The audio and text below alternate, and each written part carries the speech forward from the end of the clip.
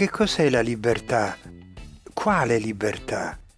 Se conosceste un po' di più voi stessi vi rendereste conto che per voi la libertà è fare ciò che vi piace, senza pensare che ciò che fate può disturbare gli altri, essendo liberi di comportarvi come più appaga il vostro io.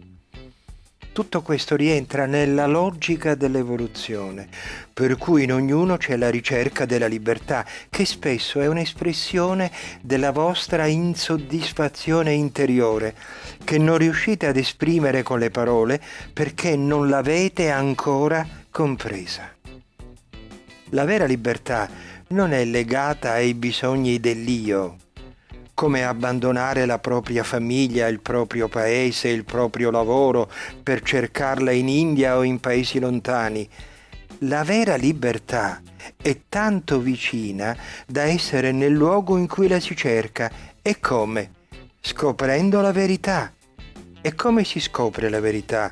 Conoscendo se stessi. E come si conosce se stessi?